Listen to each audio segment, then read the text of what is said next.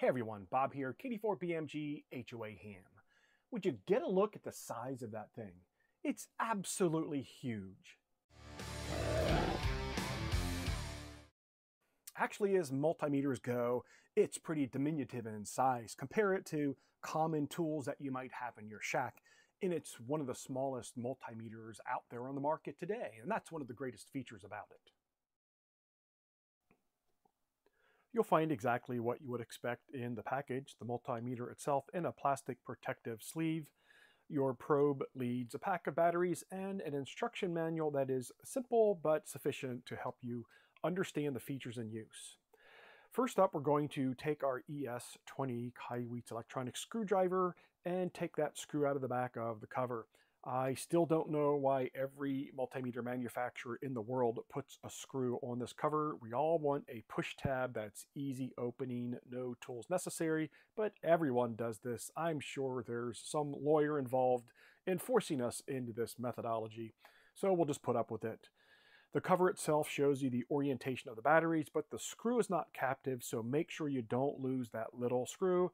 And once you put the batteries in correctly, retighten the screw and it's going to automatically turn on as soon as you put the batteries in and it will go to its default non-contact voltage feature. I've powered the unit off and back on again just to confirm that non-contact voltage is the startup mode and indeed it is. The unit has a flashlight by holding and pressing the light button for an extended period of time, and why not? We have flashlights on our Baofeng UV5Rs. Why not have a flashlight on our multimeter? From here, you can cycle through all the various functions that this multimeter will perform. Of course, it can do much more than this, but primarily I use this in auto mode for testing continuity. That is the most common usage for me with the multimeter, and then checking voltage on my batteries. Non-contact voltage meters are great until they're not. Always check your breaker box to be sure things are turned off appropriately. Don't trust your life to this device, it's an indicator. The probes are of pretty good quality. The wire is not overly stiff with memory, so it's easy to manipulate while you're working with it. They are color coded so you know precisely where to put them into the voltage tester multimeter. And let's just start with a continuity test. This is my favorite antenna spike for my portable operations with vertical antennas. And next up, let's just check the voltage on our Bioenno battery. And then finally, we'll stick these probes into a 110 uh, plug that's plugged into my wall outlet. Folks, be careful with this. We're dealing with AC current at this point, and you know that can be dangerous, so don't be touching the probes while you're performing this test. Final two pro tips. I take the red cap and put it back into the black probe and vice versa on the other color. That way I always can quickly see that I have the cap there.